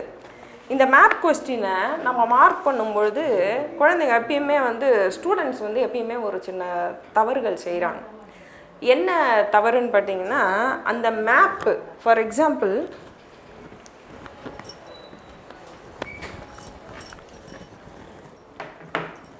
இப்போ பாருங்க நான் இந்தியாவுடைய கீழ்ப்பகுதியை மட்டும் வரைகிறேன் ஓகேங்களா?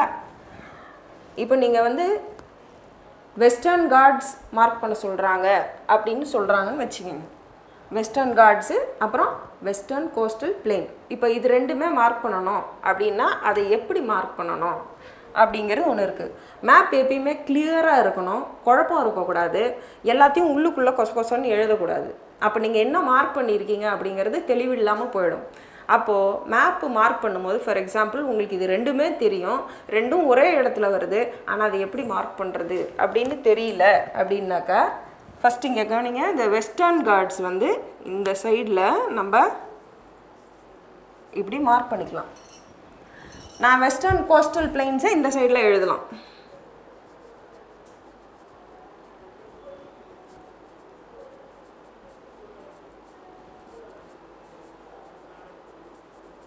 ஸோ கோஸ்டல் பிளெயின் நான் மார்க் பண்ணிட்டேன் இந்த சைடில் இந்த சைடில் வெஸ்டர்ன் கார்ட்ஸு மார்க் பண்ணிட்டேன். அதே மாதிரி ஈஸ்டர்ன் கார்ட்ஸ்னாலும் இந்த சைடு நம்ம ஈஸ்டர்ன் கார்ட்ஸ்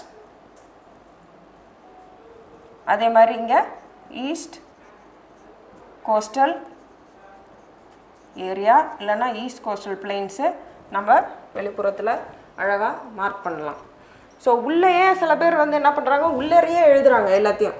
ஸோ உள்ளறையே எழுதுனா அது வெஸ்டர்ன் காட்ஸை குறிக்குதா கோஸ்டல் பிளெயினை குறிக்குதா அப்படிங்கிற ஒரு சந்தேகம் வரும்.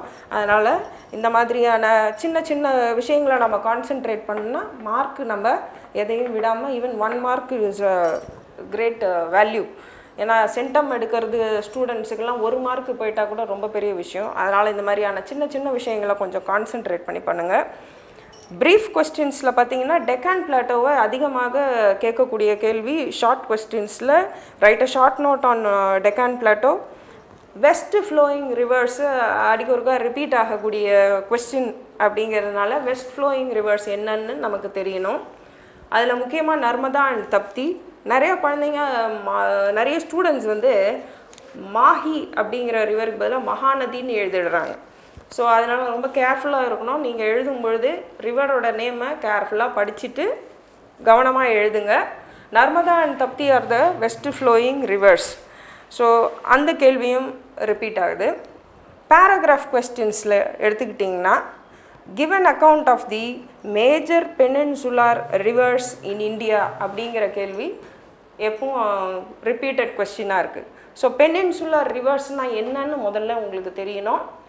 இமாலயன் ரிவர்ஸ் அப்படிங்கிறது தான் பெனின்சுலார் ரிவர்ஸ் ரெண்டும் ஒன்று தான் இமாலயன் ரிவர்னாலும் ஒன்று தான் பெனின்சுலா ரிவர்னாலும் ஒன்று தான் ஸோ நம்ம பிளாட்டோவிலேருந்து ஆரம்பிக்கக்கூடிய ரிவர்ஸ் எல்லாம் வந்து they are not peninsula rivers the rest of it Himalaya பகுதியிலேருந்து வரக்கூடிய ரிவர்ஸ் எல்லாம் வந்து பார்த்திங்கன்னா பெனின்சுலார் ரிவர்ஸ் பெனின்சுலார் என்று சொன்னால் பெரனியல் நேச்சர் வருடம்தோறும் நீர் இருக்கக்கூடிய ஒரு ஆறு. ஸோ அது எந்த மாதிரி ஆறுகள் அப்படிங்கிறத நம்ம கவனம் கொண்டு நம்ம எழுதும் பொழுது ரிவர் நேமாக ஞாபகம் வச்சுக்கணும். அதுதான் வந்து பெனின்சுலா ரிவர்ஸ் அதை பற்றின ஒரு சின்ன ப்ரீஃப் நோட்டு எழுத சொல்லியிருக்கிறாங்க. ஸோ அது அது ஆஃபன் ரிப்பீட்டட் கொஸ்டின் சிமிலர்லி அந்த ஃபஸ்ட்டு சாப்டரில் உங்களுக்கு வந்து மேப் எக்ஸசைசஸ் இருக்குது அந்த மேப்பில் வந்து பெரும்பாலும் கேட்கக்கூடிய நதிகள் வந்து மேஜர் ரிவர்ஸு கங்கா கேட்பாங்க இண்டஸு பிரம்மபுத்ரா நர்மதா எப்பவுமே கேட்கக்கூடிய கேள்வி. கிருஷ்ணா காவேரி. டிஸ்பியூட்டில் இருக்கிற எந்த ஒரு விஷயத்தையும் நம்ம கவனம் செலுத்தணும். இப்போ காவேரி டிஸ்பியூட் அப்படிங்கிறது நம்ம எல்லாருக்குமே தெரியும். காவேரியில் வந்து இந்த தண்ணி பிரச்சனை பிட்வீன் த ஸ்டேட்ஸ் இருக்குதுங்க ஸோ அப்போ காவேரி நதியை பற்றி கண்டிப்பாக ஒன்று அது டிஸ்பியூட்டில் ஜென்ரல் கொஸ்டினாக கேட்கலாம். அல்லது உங்களுக்கு மார்க் பண்ண சொல்லி கேட்கலாம். ஸோ காவேரியை கண்டிப்பாக எங்கே இருக்குது அந்த நதி? அந்த க தமிழ்நாட்டில் மார்க் பண்ணும்போது எப்படி கரெக்டாக மார்க் பண்ணணும்னு அந்த காவேரி நதி பற்றி உங்களுக்கு தெரியணும். ஸோ த இம்பார்ட்டண்ட் ரிவர்ஸ் வந்து கிருஷ்ணா ஸோ ந நர்மதா தப்தி பிரம்மா பிரம்மபுத்ரா கங்கா ஸோ இது மாதிரி. அதே மாதிரி இந்த மவுண்டன் ரேஞ்சஸில் ஆஃப் அண்ட் ரிப்பீட்டட் கொஸ்டின்ஸ் நம்ம பார்த்தோம் வெஸ்டர்ன் காட்ஸ் ஈஸ்டர்ன் காட்ஸ் எப்பயுமே கேட்கக்கூடிய மலைப்பகுதிகள். அதே மாதிரி ஆரவல்லி மலைப்பகுதி காரக்கோரம். இப்போ புதுசாக வந்து லடாக் அப்படின்னு சொல்லிட்டு உங்களுக்கு தெரியும் இந்தியா மேப்பில் லடாக் வந்து ஒரு செப்பரேட் ஸ்டேட்டஸ் கொடுத்துருக்குறாங்க ஸ்டேட் ஸ்டேட்டஸு ஸோ மாநில அளவில் இந்த சாப்டரில் நீங்கள் முக்கியமாக வந்து பொலிட்டிக்கல் ஸ்டேட்ஸ் நீங்கள் பற்றி படிக்கும் பொழுது எப்பவும் இருக்கிற டேட்டாவை விட கொஞ்சம் சேஞ்சு டேட்டாவை நீங்கள் அப் டு டேட்டா இருக்கிறதுனால ஸோ அந்த நம்பர் ஆஃப் க ஸ்டேட்ஸ் இன் இந்தியா வந்து சேஞ்ச் ஆகும். So Ladakh is also given a special status so that is also included in one of the number of states so அந்த number of states signal உங்களுடைய புத்தகத்திலிருந்து சற்று மாறுபட்டு இருக்கலாம் ஒன்றும் பிரச்சனை இல்லை. ஸோ லேட்டஸ்ட்டாக இன்ஃபர்மேஷன் கொடுத்தாலும் தவறு இல்லை. ஸோ நீங்கள் அதையும் மனதில் கொள்ள வேண்டும். ஸோ இதெல்லாம் வந்து முக்கியமான கேள்விகள்.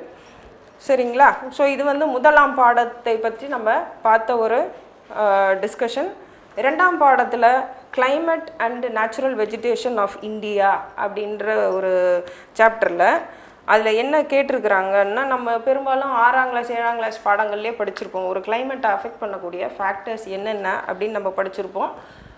அதை தாண்டி நம்ம டென்த்து வரும்போது அடிஷ்னலாக சில விஷயங்கள் நம்ம வந்து அடிஷ்னல் ஃபேக்டர்ஸ் கூட வந்து புதுசாக சில விஷயங்கள் படிச்சிருப்போம். அதில் முக்கியமாக வந்து சொல்லணும்னா ஜெட் ஸ்ட்ரீம்ஸ் அப்படிங்கிறது ஒரு முக்கிய முக்கியமான ஃபேக்டராக சொல்கிறாங்க இந்த ஜெட் ஸ்ட்ரீம்னா என்ன அப்படிங்கிறது நம்மளுக்கு அவசியம் தெரிஞ்சிருக்கணும். ஃபாஸ்ட் மூவிங் விண்டை தான் நம்ம ஜெட் ஸ்ட்ரீம் என்று அழைக்கிறோம். ஸோ அட்மாஸ்ஃபியரில் இருக்கக்கூடிய பலத்த காற்று வேகமாக வீசக்கூடிய காற்றுக்கு ஜெட் ஸ்ட்ரீம் என்று பெயர். ஸோ ஜெட் ஸ்ட்ரீம்னா என்னன்னு எக்ஸாமில் கேட்கக்கூடிய வாய்ப்புகள் அதிகம் உண்டு. மான்சூன் பற்றி பேசும் பொழுது கண்டிப்பாக உங்களுக்கு north west north east monsoon south west monsoon கண்டிப்பாக உங்களுக்கு தெரிஞ்சிருக்கணும். அதில் முக்கியமாக வந்து அந்த பாடத்தில் வந்து இந்த டூ மார்க் கொஸ்டினில் எப்பயுமே மேங்கோ ஷவர்ஸ்னால் என்ன? பிளாசம் ஷவர்ஸ்னால் என்ன? அப்படின்னு சொல்லிட்டு கேட்பாங்க. ஸோ இந்த பிளாசம் ஷவர்ஸு மேங்கோ ஷவர்ஸு எல்லாம் ஒன்று தான்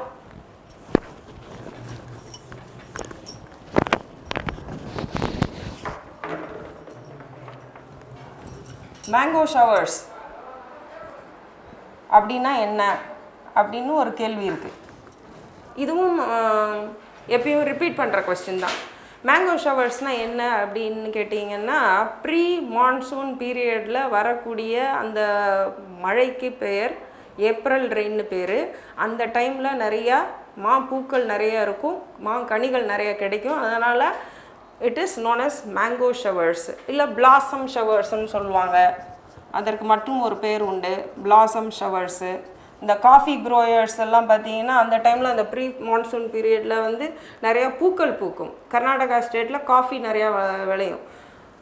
ஸோ அந்த பூக்கள் பூக்கின்ற நேரம் அந்த காய்கனிகள் வந்து பூத்து குலுங்கக்கூடிய அந்த நேரம் ப்ரீ மான்சூன் பீரியடு ஒவ்வொரு ஸ்டேட்டில் ஒவ்வொரு ஒரு மாதிரி இருக்கும். ஸோ மேங்கோ ஷவர்ஸ் என்று நம்ம அழைக்கிறோம். இந்தியாவில் அதைய அதுக்கு இன்னொரு பேரும் உண்டு. April rain so what is April rain what is blossom shower what is mango shower everything is one and the same so இது மாதிரியான நிறைய விஷயங்கள் அதில் இருக்குது நார்வெஸ்டாஸ் என்று சொன்னால் அதற்கு என்ன பொருள் அப்படின்னு கேட்டிருக்கிறாங்க. ஸோ அதுவும் வந்து கா கால பைசாக்கி. இந்த பைசாக்கி என்று சொன்னாலே நம்ம வந்து ஒரு அக்ரிகல்ச்சுரல் ஃபெஸ்டிவல் தான் அது. இந்த பைசாக்கி அப்படிங்கிறது நார்வெஸ்டர்ஸ் அப்படிங்கிறது என்ன அப்படின்னு கேட்டிருக்காங்க. அது வந்து local storm local severe storm thunder storm அப்படின்னு சொல்கிறாங்க ஷார்ட் டியூரேஷனில் இருக்கக்கூடியதுனால அது வந்து நார்வெஸ்டர்னு பேர் ரைட் ஸோ அது வந்து ப்ரீ மான்சூனில் சில முக்கியமான கேள்விகள் வந்து மேங்கோ ஷவர்ஸ்னால் என்ன நார்வெஸ்டர்ஸ்னால் என்ன இது மாதிரியான கேள்விகளை நம்ம படிக்கணும். எல் எல்னினோ ரைட் ஸோ அந்த எல்னினோ எஃபெக்ட்டு இந்த கொஷின்ஸு பர்ஸ்ட் ஆஃப் மான்சூன் என்றால் என்ன? இந்த மாதிரியான கேள்விகள். போஸ்ட் மான்சூன் பீரியட் அப்படின்னு வரும்போது நாஸ்டி அதில் ரெண்டு விதமாக இருக்குது so you have this retreating அல்லது நார்த் ஈஸ்ட் மான்சூன் சீசன்னு சொல்கிறாங்க சவுத் வெஸ்ட் மான்சூன் அல்லது ரெய்னி சீசன்னு சொல்கிறாங்க ஸோ இந்த மாதிரி விஷயங்களெல்லாம் நம்ம வந்து சுருக்கமாக உங்களுடைய புத்தகத்திலேருந்து படித்தா ரொம்ப டீட்டெயிலாக இருக்குது என்னால் படிக்க முடியல. கஷ்டமாக இருக்குது அப்படின்னா நீங்கள் வந்து சிகரத்தை நோக்கி போன்ற புக்ஸில் கொஞ்சம் ஷார்ட்டாக இருக்கும். இல்லை சில கைட் புக்ஸில் பார்த்தீங்கன்னா உங்களுக்கு ஈஸியாக புரிகிற மாதிரி இருக்கும். அந்த மாதிரி ஷார்ட் அண்ட் கிறிஸ்பியாக எழுத பழகிக்கோங்க. ஸோ அந்த சாப்டரில் அது ரொம்ப முக்கியமான விஷயம். வெஜிடேஷன் சம்மந்தமாக பார்த்தீங்கன்னா tropical evergreen forest and deciduous forest எப்பயுமே கேட்கக்கூடிய கேள்வி. நாம் அதை வந்து கவனத்தில் கொண்டு அதையும் நம்ம கான்சென்ட்ரேட் பண்ணி படிக்க வேண்டிய ஒரு முக்கியமான question biosphere reserves of India எங்கெங்கெல்லாம் பயோஸ்பியர் இருக்குது பயோஸ்பியர் என்றால் என்ன? அந்த ரிசர்வ்ஸை நம்ம ஏன் ப்ரொடெக்ட் பண்ணணும் அப்படிங்கிறது இப்போ இருக்கிற காலகட்டத்தில் ரொம்ப முக்கியமான ஒரு கேள்வி எல்லாருக்கும் தெரிஞ்சிருக்கக்கூடியது. என்விரான்மெண்டல் இஷ்யூ சம்மந்தமான ஒரு கேள்வி. So biosphere reserves of India எங்கெங்கெல்லாம் இருக்குது அப்படிங்கிறது உங்களுக்கு தெரிஞ்சிருக்கணும். ஸோ இந்த பாடத்தினுடைய இறுதியில் நீங்கள் படிக்க வேண்டிய கேள்விகள் பத்து எப்பவும் போல் ஃபில் இந்த பிளாங்க்ஸ் இருக்குது அதை தாண்டி உங்களுக்கு சில சூஸ் த கரெக்ட் ஆன்சர்ஸ் எல்லாம் கொடுத்துருக்குறாங்க. அதையும் பார்த்துக்குங்க. ஆன்சர் ப்ரீஃப்லிக்கு நம்ம போயிடுவோம். அதில் முக்கியமான கேள்விகள் டி மீட்டியோரலஜி என்றால் என்ன? ஜெட் ஸ்ட்ரீம் என்றால் என்ன? மான்சூன் விண்ட் என்றால் என்ன? இந்தியாவில் இருக்கக்கூடிய சீசன்ஸ் என்ன? பேர்ஸ்ட் ஆஃப் மான்சூன் நான் சொன்னதை போல் எந்த பகுதியில் இந்தியாவில் அதிக மழை பெய்கிறது அப்படின்னு கேட்பாங்க? சீராப்புஞ்சி இது எப்பயுமே ரிப்பீட்டட் கொஸ்டின்னு அதே மாதிரி zero between less than twenty centimetre rain அதாவது ஐம்பது சென்டிமீட்டரில் டுவெண்ட்டி டு ஃபிஃப்டி சென்டிமீட்டருக்குள்ளே இருக்கக்கூடிய மழை பெய்யக்கூடிய பகுதி. அதாவது ரொம்ப மழையே இல்லாமல் கம்மியாக மழை பெய்யக்கூடிய பகுதி எதுன்னு எப்பயுமே கேட்குற கொஸ்டின் அது. அப்போ நம்ம இம்மிடியேட்டாக கண்ணை மூடின்னு தார் டெசர்ட்டை மார்க் பண்ணிடணும். ரைட்டுங்களா ஸோ நமக்கு ஈஸியாக சில விஷயங்கள் நார்த் ஈஸ்டர்ன் ஏரியாஸ் எல்லாம் வந்து அதிகமாக மழை பெய்யும். அப்போ நம்ம சீராப்பூஞ்சி வந்து நார்த் ஈஸ்டர்ன் ஏரியாஸ் நம்ம மழை அதிகமாக பெய்யக்கூடிய பகுதின்னா நார்த் ஈஸ்டர்ன் ஏரியாஸை நம்ம மார்க் பண்ணலாம். ஸோ நம்ம மார்க்கிங் பண்ணும் பொழுது மழை அதிகமாக பெய்யக்கூடிய பகுதி மழை கம்மியாக பெய்யக்கூடிய பகுதிகளை நம்ம ஞாபகம் வச்சுக்கணும் மேப்பு மார்க் பண்ணும்போது. மேங்க்ரூவ் ஃபாரஸ்ட்னா என்னன்னு கேட்டிருக்காங்க. இந்த சுந்தர்பான் காடுகள் அப்படின்னு சொல்கிறோம் இல்லைங்களா? அந்த சுந்தர்பான் காடுகளில் தான் அதிகமாக மேங்க்ரூவ் ஃபாரஸ்ட்டும் நிறையா இந்த சுந்தர்பான் அப்படின்னா என்னென்னா சுந்தரி ட்ரீஸ் அங்கே நிறையா இருக்கிறதுனால அதுக்கு சுந்தர வனம் என்று பெயர். அதனால் அது மேங்க்ரூவ் ஃபாரஸ்ட் என்றும் மறுபெயர் உண்டு அதுக்கு. ஸோ உங்களை மார்க் பண்ண சொன்னாங்கன்னா சுந்தரவனம் எங்கே இருக்குது அப்படின்னு மார்க் பண்ண சொன்னாங்கன்னா உங்கள் இந்தியா மேப்பில்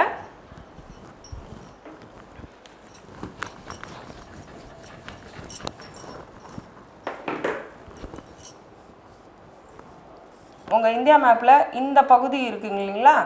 இந்த பகுதியில் இந்த பகுதியை நம்ம என்ன மார்க் பண்ணுறோம் இந்த பகுதியை நம்ம சுந்தர்பன்ஸ் அப்படின்னு மார்க் பண்ணுறோம் ஸோ இந்த ஏரியா தான் வந்து அதிகமான டெல்டா ஏரியா இது.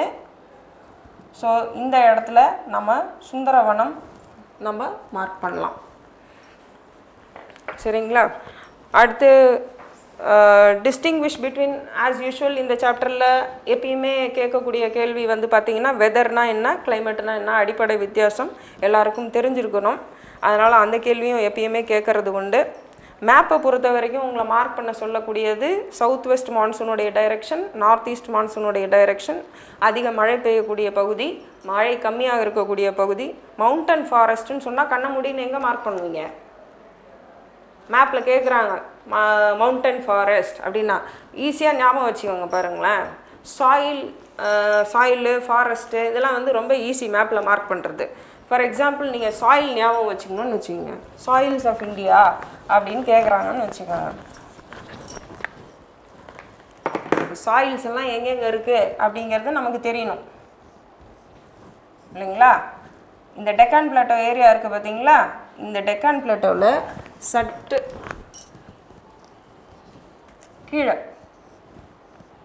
இது அப்படியே ரெட் சாயில் இந்த மையப்பகுதி இருக்குது பார்த்தீங்களா இது பிளாக் சாயில் சரிங்களா? இந்த கேரளா பக்கம் இருக்குது பார்த்தீங்களா இந்த பகுதி. இது லேட்ரைட் சாயில் இந்த பகுதி இருக்குது பார்த்தீங்களா இந்த பகுதி. இது வந்து நம்ம அலூவியல் சாயில் இந்த கோஸ்டல் ஏரியாவிலேருந்து அப்படியே இந்தியாவுடைய மேல் பகுதிக்கு வந்துடுங்க இது அலூவியல் சாயில் அப்புறம் இந்த நார்த்து இருக்கும் பார்த்தீங்களா? இந்த த இந்த பகுதி வரும் இல்லைங்களா? இந்த பகுதியில் வந்து ஃபுல்லாக மவுண்டன் ஃபாரஸ்ட்டு அங்கே இருக்கும்.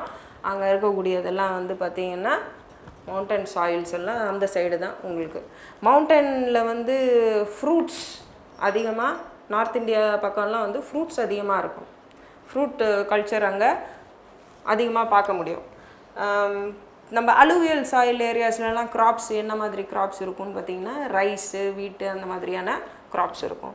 பிளாக் காட் சாயில் அப்படின்னு பார்த்தீங்கன்னா அதில் காட்டன் போன்ற கேஷ் க்ராப்ஸு விளையக்கூடிய பகுதி. லேட்ரைட் சாயில் பக்கம் பார்த்தீங்கன்னாக்கா டீ காஃபி அந்த மாதிரியான ஒரு க்ரோத் இருக்கும். ஸோ நம்ம சாயில் படிக்கும்போது நம்ம க்ராப்ஸோடு இணைந்து படிக்கும் பொழுது நமக்கு அந்த ஏரியாஸும் கரெக்டாக நம்ம ஞாபகம் வச்சுக்க முடியும். ஃபாரஸ்ட் ஏரியாஸும் நம்ம ஞாபகம் வச்சுக்க முடியும். எல்லாத்தையும் ஒரு சைட் ட்ராக்கில் ஒரு காலம் மாதிரி போட்டுக்குங்க. சாயில் படிக்கும்போது அந்த சாயில் எந்தெந்த ஏரியாவில் இருக்குது இந்த சாயில் இருந்தால் இங்கே என்ன மாதிரியான கிராப் விளையும் அப்படிங்கிறத ஒரு மேட்ச் த ஃபாலோயிங் மாதிரி போட்டு வச்சுக்கிட்டு நம்ம படித்தோம்னாக்கா நமக்கு அட்ட ஸ்ட்ரெச் நம்ம ஒரு வாஸ்ட் கவரேஜ் கொடுத்து படிக்க முடியும். ஸோ இது ஒரு டிப்ஸாக வச்சுக்கோங்க. ஏன்னா என்னை விட நல்லா படிக்கிற ஸ்டூடெண்ட்ஸ் எல்லாம் நிறைய பேர் இருப்பாங்க. ஆசிரியரும் சேர்ந்து டெய்லி படிக்க வேண்டியதாக இருக்குது ஏன்னா இன்னை இப்போ காலகட்டத்தில் பாடம் எல்லாமே மாறி போயிருக்குது. இந்த புக்கு எங்களுக்கே கொஞ்சம் புதுசாக தான் இருக்குது அதனால் எனக்கு தெரிஞ்ச சில விஷயங்களை நான் ஷேர் பண்ணுறேன் புத்திசாலி மாணவர்கள் நான் டீச்சரை விடையும் சிறப்பாக செய்கிறதுக்கு வாய்ப்பு அதிகமாக உண்டு. இப்போ நம்ம மூணாவது சாப்டருக்கு போவோம். மூணாவது சாப்டரில் வந்து காம்பனன்ட்ஸ் ஆஃப் அக்ரிகல்ச்சர் அப்படின்னு ஒரு சாப்டர் இருக்குது அந்த சாப்டரில் நம்ம எது எதெல்லாம் முக்கியமான கேள்விகள் அப்படின்னு சொல்லிட்டு நம்ம பார்க்க போகிறோம் ஆஸ் யூஷுவல் தான். ஒன் ஒன் ஒன் மார்க் கொஸ்டின்லாம் நீங்கள் தரவாக படிச்சுக்கோங்க. ப்ரீஃப் கொஸ்டின்ஸில் பார்த்தீங்கன்னா சாயில் என்றால் என்ன? அப்படிங்கிற அடிப்படை கேள்வி நமக்கு தெரியணும். எத்தனை டைப் ஆஃப் சாயில் இருக்குது நான் இப்போ சொல்லியிருக்கேன் இல்லைங்களா? அதனுடைய ஒவ்வொரு சாயில்லையும் அட்லீஸ்ட் ஒரு ரெண்டு கேரக்டரிஸ்டிக் இந்த சாயிலினுடைய வகை என்ன அதனுடைய தன்மை என்ன அப்படிங்கிறது ஒவ்வொரு சாயிலில் அட்லீஸ்ட் ஒரு ரெண்டு ப்ராப்பர்ட்டியாவது படித்து வச்சுக்கோங்க. எப்படி இருக்கும் அதனுடைய தன்மை எப்படி இருக்கும் அப்படிங்கிறது நமக்கு தெரியணும். அதில் சில சா சாயில்லாம் பார்த்திங்கன்னா வெறும் சாண்ட் டியூன்ஸ் இருக்கும் சில ஏரியாஸில் தமிழகத்தில் இருக்கக்கூடிய சாண்ட் டியூன் பகுதி எது அப்படின்னு கேட்டால் போன வாட்டி ஒரு கொஸ்டின் பேப்பரில் நினைக்கிறேன் ஒரு செகண்ட் ரிவிஷனாக தேர்ட் ரிவிஷன் தேர்ட் ரிவிஷன் இல்லை செகண்ட் ரிவிஷன் டெஸ்ட் பேப்பரில் தான் நினைக்கிறேன். ஒரு கேள்வி கேட்கப்பட்டிருந்தது சாண்ட் டியூன்ஸ் எங்கே அதிகம் உள்ளது தமிழகத்தில்? அப்படின்னு. நிறைய பேர் தவறான ஒரு விடையை எழுத்திருந்தாங்க என்னுடைய மாணவர்கள்.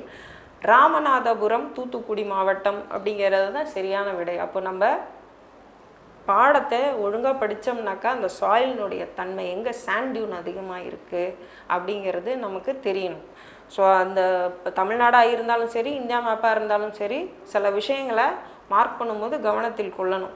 மேப்பில் எப்பயுமே கேட்பாங்க mark the most populous state in India அப்படிம்பாங்க.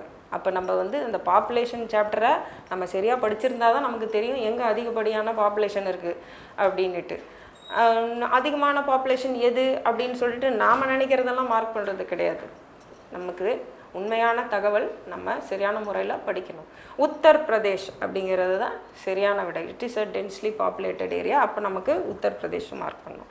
இந்த உத்தர் பிரதேசத்துக்கும் நம்ம ஒரு ஸ்டேட் எடுத்து படிக்கிறோம்னு வச்சுக்கோங்க. அந்த ஸ்டேட்டுடைய நெருக்கமான மற்ற விஷயங்களையும் நம்ம படிக்கணும். Uttar Pradesh is also a sugar bowl of India அப்படின்னும் அழைக்கப்படுகிறது உத்தரப்பிரதேஷ். ஸோ அங்கே சுகர் கேன் அதிகமாக விளையுது. இப்போ சுகர் கேன் விளையிற பூமி இடம் மார்க் பண்ணுங்க அப்படின்ட்டு டக்குன்னு நீங்கள் உத்தரப்பிரதேச மார்க் பண்ணிடலாம். ஸோ ஒரு ஸ்டேட்டை பற்றின விஷயங்கள் நம்ம படிக்கும் பொழுது நம்ம மற்ற விஷயங்களையும் இணைத்து படித்தோம்னா நமக்கு ஈஸியாக புரியக்கூடிய வாய்ப்புகள் அதிகமாக இருக்குது. ஸோ ரீசன்ஸ் இப்போ நீங்கள் அந்த ப்ரீஃப் கொஸ்டின்ஸில் பார்த்தீங்கன்னா விவசாயத்தை பற்றி கேட்டிருக்காங்க. என்ன காரணம்? Name the seasons of agriculture in India plantation crops என்ன அப்படின்னு கேட்டிருக்காங்க. ஸோ இதெல்லாம் தான் முக்கியமான கேள்விகள். லைஃப் ஸ்டாக் பற்றி இதுவரைக்கும் கேட்டதில்லை. இனிமேல் கேட்க மாட்டாங்கன்னு சொல்ல முடியாது.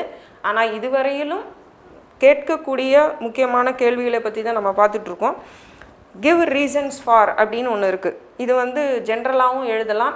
நம்ம ஓன் வேர்ட்ஸில் எழுதலாம் குழந்தைங்க பட் என்ன பிரச்சனைன்னா they make lot of grammar mistakes அந்த ஒரு சென்டென்ஸ் வந்து ஒரு வரையறுத்து ஒழுங்காக எழுத தெரியல சில மாணவர்களுக்கு. தமிழில் எழுதும்போது கரெக்டாக எழுதிடுறாங்க. இந்த இங்கிலீஷில் எழுதும்போது நிறைய பிரச்சனை வருது. அதனால் எதுக்கும் நீங்கள் ஒரு ஈஸியாக புரியக்கூடிய ஒரு கைடு புக் எடுத்து அந்த கைடு புக்கில் இருக்கிறதையே எழுதுறது பெட்டர் சொந்தமாக எழுதுறேன்னு சொல்லிட்டு வார்த்தைகள் புரியாமல் நீங்கள் கிராமர் மிஸ்டேக் பண்ணியோ அல்லது அந்த வார்த்தையினுடைய இதுவே சென்ஸே மாற்றிட எசன்ஸே போயிடும். அதை ஃபுல்லாக படித்தா எதுவுமே புரியாத அளவுக்கு சில பேர் எழுதிட்டுருப்பாங்க அந்த மாதிரி எல்லாம் தவறுகள் நீங்கள் செய்வீங்க அப்படின்னு உங்களுக்கு தெரிஞ்சால் எனக்கு இந்த மாதிரி வராது எழுத தெரியாது அப்படின்னு சொன்னால் நீங்கள் பேசாமல் சிம்பிளாக ஈஸியாக இருக்கக்கூடிய கைடு புக்கு எடுத்து அதில் இருக்கக்கூடிய ஆன்சர்ஸை நீங்கள் படித்து எழுதுறது நல்லது. இதில் முக்கியமாக இந்த இதில் பார்த்தீங்கன்னா அக்ரிகல்ச்சர் விவசாயத்தினுடைய முதுகெலும்பு என்று சொல்லுறாங்க. இதை பற்றி விவரிக்க அப்படின்னு சொன்னாக்கா ஓன் வேர்ட்ஸ்லேயும் எழுதலாம். நமக்கு அதை பற்றின கொஞ்சம் ஞானம் இருக்கணும். அதை ரெகுலராக நம்ம டெக்ஸ்ட் புக்கை படிச்சிருந்தோம்னா கொஞ்சம் பாயிண்ட்ஸ் நமக்கு தெரியும். சொந்தமாகவும் எழுதலாம். புத்தகத்தில் இருக்கிற எல்லா வார்த்தையும் ரிப்பீட் ஆகணுங்கிற அவசியம் இல்லை. இதை கருத்தில் கொள்ளணும்.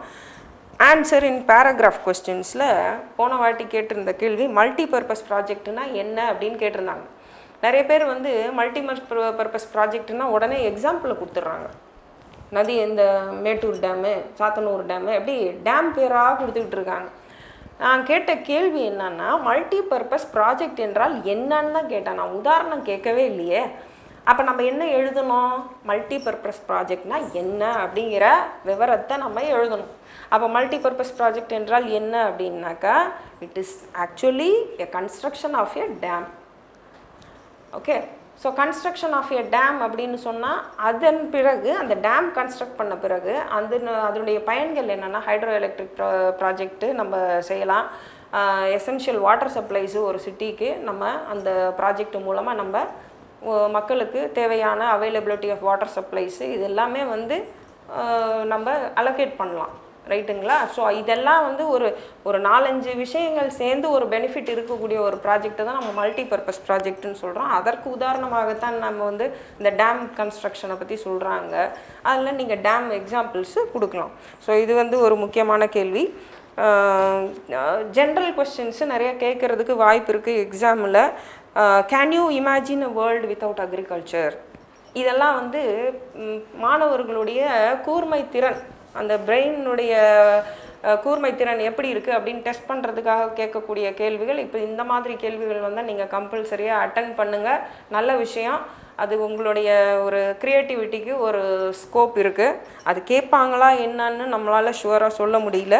ஸோ அந்த பாடத்தை பொறுத்த வரைக்கும் அந்த கேள்வி. நம்ம தொடர்ந்து இன்னும் ஒரு ரெண்டு நிமிஷம் இருக்கிறதுனால நான் மற்ற பாடங்களுக்கும் போயிடுறேன். ஒரு இம்பார்ட்டண்ட் கொஸ்டின்ஸை மட்டும் நம்ம டிஸ்கஸ் பண்ணிக்கலாம். ரிசோர்ஸஸ் அப்படிங்கிற ஒரு சாப்டரில் ரிசோர்ஸஸ் எந்த வகைப்படும்? ரெண்டு type renewable and non renewable so அதை பற்றின விவரங்கள் கேட்க வாய்ப்புண்டு. அதில் முக்கியமான கொஸ்டின் வந்து distinguish between renewable and non-renewable resource, metallic and non-metallic minerals, agro-based industry, mineral-based industry. இது வந்து ஆஃபன் கேட்கக்கூடிய கொஸ்டின்ஸு பேராகிராஃப் கொஸ்டின்ஸுன்னு நீங்கள் எடுத்துக்கிட்டிங்கனாக்கா what are the factors response industries for example ஒரு நிமிஷம் இந்த major challenges of Indian industries அப்படின்னு சொல்லிட்டு உங்களுடைய பேஜ் நம்பர் நூற்றி நாற்பத்தி ஏழு உங்களோட டெக்ஸ்ட் புக்கில் ஒரு அழகான ஒரு விவரம் கொடுத்துருக்காங்க. தயவுசெய்து அதை படிங்க. அது ரொம்ப இம்பார்ட்டண்ட்டான ஒரு question what are the major challenges of Indian industry அப்படின்னு ஒரு கொஸ்டின் கேட்டிருக்காங்க. தயவுசெய்து அதை கவனமாக படிங்க. ஐந்தாவது பாடம் நம்ம போகிறோம் அந்த ஐந்தாவது பாடத்தில் பாப்புலேஷன் சம்மந்தமான கேள்விகள் பாப்புலேஷன் கம்யூனிகேஷன் டிரான்ஸ்போர்ட் அப்படின்னு சொல்லிட்டு இருக்கக்கூடிய அந்த கேள்வி. அந்த பாப்புலேஷன் சாப்டர் அப்படி எடுத்துக்கிட்டிங்கன்னா அதில் முக்கியமான கேள்வி ஹியூமன் டெவலப்மெண்ட் என்றால் என்ன அப்படின்னு தெரியணும். அப்புறம் வந்து டிஸ்டிங் அது அது வந்து பாப்புலேஷன் சம்மந்தமான எது வந்து அதிகமான பாப்புலர் ஸ்டேட் எது? இப்போ அர்பன் பாப்புலேஷன்னா என்ன? முக்கியமான கேள்வி வந்து அர்பனைசேஷன் அப்படின்னு கேட்குறாங்க பார்த்தீங்களா அதனுடைய இம்பேக்ட் என்ன? எல்லா இடத்துலையும் விவசாய பூமியை அழிச்சிட்டு நம்ம கட்டிடங்கள் கட்டிட்டு அர்பனைசேஷன் பண்ணிக்கிட்டு இருக்கோம். அந்த அர்பனைசேஷனோட இம்பேக்ட் என்னன்னு சொல்லிட்டு இன்றைய காலகட்டத்தில் நடக்கக்கூடிய ஒரு சந் விஷயன்றதுனால அது ரொம்ப இம்பார்ட்டண்ட்டாக நீங்கள் படிச்சுக்க வேண்டிய கேள்வி அது. இன்டர்நேஷ்னல் ட்ரேடுனா என்ன? Home trade domestic trade internal trade எல்லாம் ஒரே சொற்கள். இன்டர்நேஷ்னல் ட்ரேடு ஃபாரின் ட்ரேடு எல்லாம் ஒரே சொற்கள். இன் எக்ஸ்டர்னல் ட்ரேடுன்னு சொல்லுவாங்க. ஸோ அப்போ ஒரு வார்த்தையை மாற்றி கேட்டால் எனக்கு தெரியலன்னு இருக்கக்கூடாது. ஸோ இந்த வார்த்தைகளுக்கும் இதுக்கும் நெருங்கிய தொடர்பு இருக்குது அப்படின்னும் போது நம்ம அதர் வேர்ட்ஸ் அதர் வேர்ட்ஸ் நம்ம தெரிஞ்சிக்கக்கூடிய ஒரு எல்லாத்தையும் தெரிஞ்சுக்கிட்டு எக்ஸாமுக்கு போகிறது நல்லது. ரைட்டுங்களா? ஸோ அதில் முக்கியமாக வந்து ரோட்வேஸ் ஏர்வேஸை டிஸ்டிங்விஷ் பண்ணு வாட்டர்வேஸ் ஏர்வேஸ் டிஸ்டிங்விஷ் பண்ணு அந்த மாதிரியான கேள்விகள் பர்சனல் கம்யூனிகேஷனுக்கும் மீடியா கம்யூனிகேஷனுக்கும் என்ன டிஃப்ரென்ஸு அந்த மாதிரியான கேள்விகள். இப்போ பாருங்கள் மேப்பில் கூட அங்கே ஒன்று ஒரு கொஸ்டின் கேட்டிருக்காங்க. State of highest literacy in India அப்படின்னு ஒரு கொஸ்டின் கேட்டிருக்காங்க. அப்போ நமக்கு இந்தியாவில் எங்கே லிட்ரஸி அதிகமாக இருக்குன்னா ஃபஸ்ட்டு ஸ்டேட் வந்து கேரளா. ரைட்டுங்களா? அப்போ கேரளா தான் நம்ம மார்க் பண்ணணும். ஏன் மிஸ் மற்ற ஸ்டேட்லலாம் லிட்ரஸி இல்லையா? பாண்டிச்சேரியில் சென்ட் பர்சன்ட் லிட்ரஸி இல்லையா? நாங்கள் மார்க் பண்ணக்கூடாதா? அப்படின்னாக்கா அஃப்கோர்ஸ் நீங்கள் மார்க் பண்ணலாம். லேட்டஸ்ட்டாக தெரிஞ்சிருந்த எந்த விஷயங்களையும் நீங்கள் மார்க் பண்ணலாம். ஃபார் எக்ஸாம்பிள் நீங்கள் ஒரு டிசாஸ்டர் மேனேஜ்மெண்ட் பற்றி கேட்குறாங்கன்னு வச்சுக்கோங்க. அந்த டிசாஸ்டர் மேனேஜ்மெண்ட்டை எப்படி வந்து மிட்டிகேட் பண்ணுறதுன்னு கவர்மெண்ட் சில ரூல்ஸ் எல்லாம் போட்டிருப்பாங்க. டிசாஸ்டர் மேனேஜ்மெண்ட்டில் என்னென்னலாம் வருது அப்படிங்கிறது நம்ம தெரிஞ்சுக்கணும். புக்கில் கொடுத்துருக்கிறத மட்டும்தான் எழுதணும்னு இல்லை. நம்ம சமீபத்தில் வந்த சென்னை ஃப்ளட்ஸு அது மேன்மேட் டிசாஸ்டரில் வரும். ரைட்டுங்களா இப்போது நம்ம சமீபத்தில் பார்த்துக்கிட்டு இருக்கக்கூடிய இந்த கொரோனா வைரஸ் இதுவும் மேன்மேடு வைரஸ் தான். இதுவும் ஒரு மிகப்பெரிய டிசாஸ்டர் அப்படிங்கிற ஒரு விஷயத்தை தான் நம்ம ஹேண்டில் நம்ம கவர்மெண்ட்டும் ஹேண்டில் பண்ணிக்கிட்டு இருக்கு. ஸோ அப்போ லேட்டஸ்ட்டாக இருக்கக்கூடிய இன்ஃபர்மேஷனு உங்களுக்கு தெரிஞ்ச பல விஷயங்களை நீங்கள் ஆன்சரில் நீங்கள் ஷேர் பண்ணலாம். அது தவறே கிடையாது. சரிங்களா? ஸோ இப்போ நம்ம பார்த்தது வந்து வால்யூம் ஒன் பார்த்துருக்கோம். சில முக்கியமான கேள்விகளை மட்டும்தான் நம்மளால் டிஸ்கஸ் பண்ண முடிஞ்சுது. பாடம் நடத்துவதற்கான வாய்ப்பு இது கிடையாது. உங்களுக்கு ஏதேனும் ஐயங்கள் இருந்தால் அல்லது டவுட் இருந்ததுன்னா நீங்கள் நேரலை நிகழ்ச்சியில் எங்களை தொடர்பு கொண்டு நீங்கள் உங்களுடைய டவுட்ஸை கேட்டுக்கலாம். இதே போன்று வரும் பதினோராம் தேதியும் சமூக அறிவியல் பாடம் அடுத்த வால்யூம் நாங்கள் இதே மாதிரி முக்கியமான கேள்விகளெல்லாம் நாங்கள் உங்கள்கிட்ட ஷேர் பண்ணுவோம். தயவுசெய்து அந்த ப்ரோக்ராமையும் பார்த்துட்டு உங்கள் ஒப்பீனியன் என்ன அப்படிங்கிறது கண்டிப்பாக எங்களுக்கு சொல்லுங்கள் வணக்கம்.